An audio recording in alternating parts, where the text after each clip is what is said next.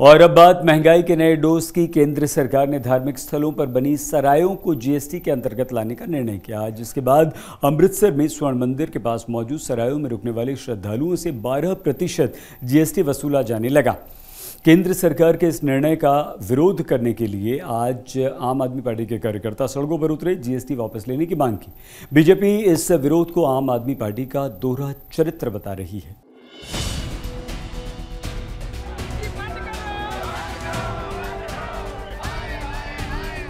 केंद्र सरकार की तरफ़ से धार्मिक स्थलों की सरायों पर जीएसटी लगाने का विरोध तेज हो गया है। अमृतसर में आज आम आदमी पार्टी की अगुवाई में केंद्र की इस पॉलिसी का विरोध किया गया। भंडारी पुल से लेकर हॉलगेट चौक तक रोष मार्च निकालते हुए आप कार्यकर्ताओं ने केंद्र सरकार के खिलाफ प्रदर्शन किया और इस फैसले को वापस लेने की मांग की। ਅੱਜ ਇੱਥੇ ਪਹੁੰਚੇ ਆ ਭੰਡਾਰੀ ਪੁਲ ਦੇ ਇਸ ਕਰਕੇ ਕਿ ਜਿਹੜੇ ਮੋਦੀ ਸਰਕਾਰ ਨੇ ਜਜੀਆ ਟੈਕਸ ਲਾਇਆ ਆ ਸਾਡੇ ਗੁਰੂ ਘਰਾਂ ਦੇ ਉੱਤੇ, ਚਾਹੇ ਉਹ ਸਾਡੇ ਗੁਰੂ ਘਰ ਨੇ, ਚਾਹੇ ਉਹ ਮੰਦਿਰ ਨੇ, ਚਾਹੇ ਉਹ ਮਸਜਿਦ ਹੈ ਜਿੰਨੇ ਵੀ ਗੁਰੂ ਘਰ ਨੇ, ਅਸੀਂ ਚਾਹੁੰਦੇ ਆ ਕਿ ਕਿਸੇ ਵੀ ਗੁਰੂ ਘਰ ਦੇ, ਕਿਸੇ ਸਰਾਂ ਦੇ ਉੱਤੇ, ਕਿਸੇ ਲੰਗਰ ਦੇ ਉੱਤੇ ਕੋਈ ਜਜੀਆ ਟੈਕਸ ਨਹੀਂ ਲੱਗਣਾ ਚਾਹੀਦਾ। ਇਹ ਬਿਲਕੁਲ ਫ੍ਰੀ ਚਾਹੀਦੇ ਨੇ। ਲੋਕ ਸੇਵਾ ਵਾਸਤੇ ਸਰਾਵਾਂ ਬਣੀਆਂ ਨੇ, ਲੋਕ ਸੇਵਾ ਵਾਸਤੇ ਲੰਗਰ ਚੱਲਦੇ ਨੇ। ਮੋਦੀ ਸਰਕਾਰ ਪਿਛਲੇ ਸਮੇਂ ਤੋਂ ਜਦੋਂ ਤੋਂ ਵੀ ਆਈ ਹੈ, ਸਮੇਂ-ਸਮੇਂ ਤੇ बहुत ही ज़्यादा टैक्स हर एक लगा जा रही है।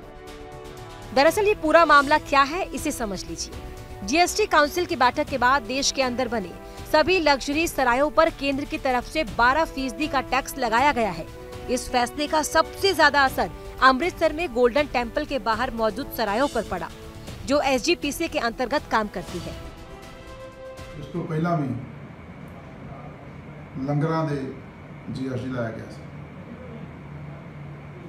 ਸਿੱਖ ਕੌਮ ਹਮੇਸ਼ਾ ਹੀ ਦੁਨੀਆ ਵਿੱਚ ਕਿਤੇ ਵੀ ਕੋਈ ਵਿਪਤਾ ਆਉਂਦੀ ਆ ਤਾਂ ਸਿੱਖ ਕੌਮ ਹਮੇਸ਼ਾ ਹੀ ਵੱਧ ਚੜ ਕੇ ਸਾ ਲੈਂਦੀ ਹੈ ਪਰ ਸਿੱਖ ਕੌਮ ਨੂੰ ਹਮੇਸ਼ਾ ਹੀ ਦੂਜੇ ਦਰਜੇ ਦੇ ਸ਼ਹਿਰੀ ਵਾਲਾ ਅਹਿਸਾਸ ਕਰਾਇਆ ਜਾਂਦਾ ਜਿਸ ਤਰ੍ਹਾਂ ਪਹਿਲਾਂ ਲੰਗਰਾਂ ਤੇ ਜੀਐਸਟੀ ਲਾਇਆ ਗਿਆ ਹੁਣ ਸਰਾਵਾਂ ਤੇ ਜੀਐਸਟੀ ਲਾਇਆ ਗਿਆ सराय उस जगह को कहते हैं जहां जाकर आप रात बिताते हैं और इसके लिए बेहद कम पैसे अदा करते हैं अमृतसर में ऐसे लोगों की संख्या लाखों में है जो हर रोज स्वर्ण मंदिर में मत्था टेकने के लिए आते हैं और स्वर्ण मंदिर के पास मौजूद सरायों में ठहरते हैं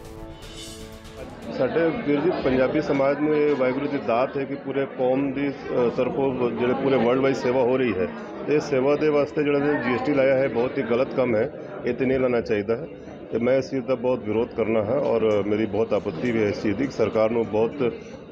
ਤਰੀਕੇ ਨਾਲ ਇਸ ਚੀਜ਼ ਨੂੰ ਸੋਚ ਕੇ ਵਾਪਸ ਪੁਨਰ ਵਿਚਾਰ ਕਰਕੇ ਇਸ ਚੀਜ਼ ਨੂੰ ਹਟਾਉਣਾ ਚਾਹੀਦਾ ਹੈ महँगाई के इस दौर में केंद्र सरकार के इस फैसले को लेकर अब पंजाब में सियासत गर्म हो गई है। आम आदमी पार्टी एक तरफ़ जहाँ केंद्र के इस फैसले का विरोध कर रही है तो वहीं बीजेपी इसे आपका दोहरा चरित्र बता रही है। क्योंकि जिस बैठक में ये फैसला लिया गया, उसमें आम आदमी पार्टी के नेता भी शामिल थे। केंद्र सरकार ने जो हमारे अमृतसर में हरमंदर साहब के नज़दीक जो सराय बनी हुई हैं उन, उनको जीएसटी के घेरे में लेके आए हैं। ये बहुत ही गलत फैसला है। मैं इस केंद्र के इस फैसले की निंदा करता हूँ। बिल्कुल तुरंत इस फैसले को वापस जो हमारे देश के प्रधान जो हमारे देश के प्रधानमंत्री जी हैं और देश के फाइनेंस मिनिस्टर हैं, इस फैसले को तुरंत वापस लें। जे इससे पता चलता है कि केंद्र सरकार पंजाब के खिलाफ है और जो हमारे धार्मिक स्थानों पर भी